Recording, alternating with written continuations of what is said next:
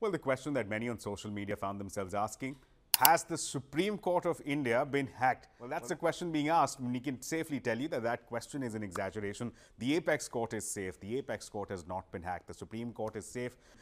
It's not safe, however, and what does appear to be hacked is the official YouTube channel of the Supreme Court of the country. Well, yes, even the YouTube channel of the Supreme Court of the country was not safe, appears to have been hacked. How do we know that? Well, uh, the way we know that is that when you go to the Apex Court website, when you click on live streaming, when you click uh, on that link, uh, that link is officially not working. When you Google uh, the link for this official YouTube channel of the Apex Court, you get uh, transported to videos of not the Apex Court. The content there on the channel is not that of Supreme Court proceedings, of lengthy arguments. Instead, what you have are videos supporting a cryptocurrency by the name of XRP.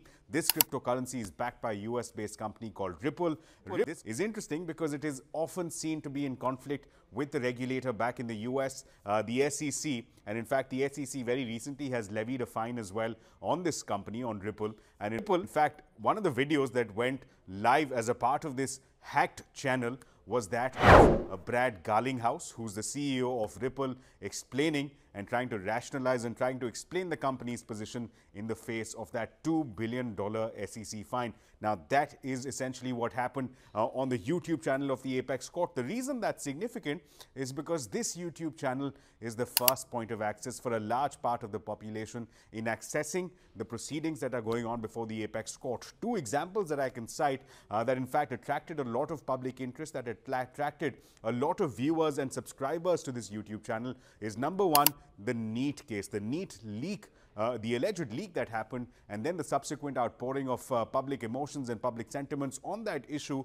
uh, issue affecting the future of lakhs and lakhs of students. That is something that attracted a lot of attention, a lot of people visiting that YouTube channel to gain access uh, to what the judges have to say, what the lawyers have to say, and what the road ahead looks like. Not just that, in more recent memory, even the RG Kar matter, uh, which was live streamed, is something that in fact the Apex Court defended by saying that it will continue to live stream these proceedings uh, because this is clearly an emotive issue.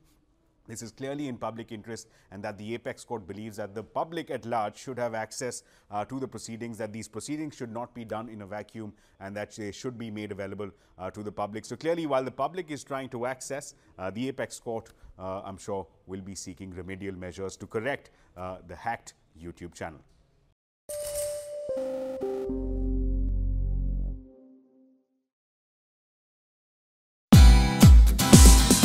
Thank you for watching us on CNBC TV 18. For all news and updates, subscribe to our YouTube channel and watch us on all social media platforms.